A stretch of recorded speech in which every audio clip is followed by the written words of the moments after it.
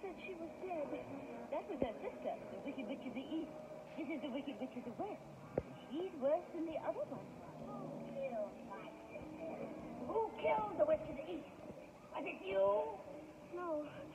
No, it was an accident. I didn't mean to kill anybody. Well, my little pretty, I can cause accidents too. Aren't you forgetting the ruby slippers?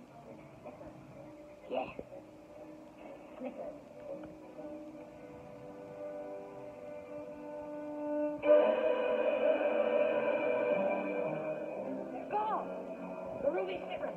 Have you done with them? Give them back to me or I'll... It's too late. There they are, and there they'll stay.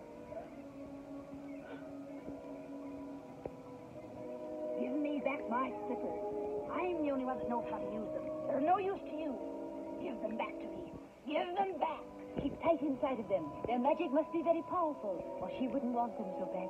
You stay out of this, Glinda, or I'll fix you as well.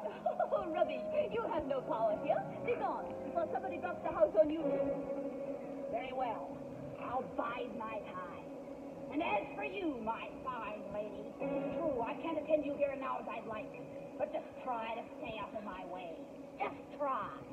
I'll get you, my pretty, and your little dog, too.